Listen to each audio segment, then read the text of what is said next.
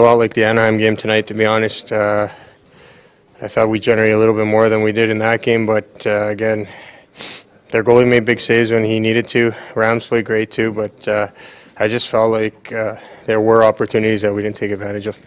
Yeah, it was a frustrating game. I mean, uh, no doubt about it. Uh, I'm saying that it's 1-1 going into the third, and and uh, we find the way to not get a point in this one. It's tough. I mean, and we've those are the ones you want to come out on top of, especially at home. Uh, there's nothing else to, left to be said, uh, but uh, it was very frustrating. To I thought again, I thought uh, we didn't make the most of chances we had and uh, and and passes that were there. We didn't uh, we didn't uh, execute.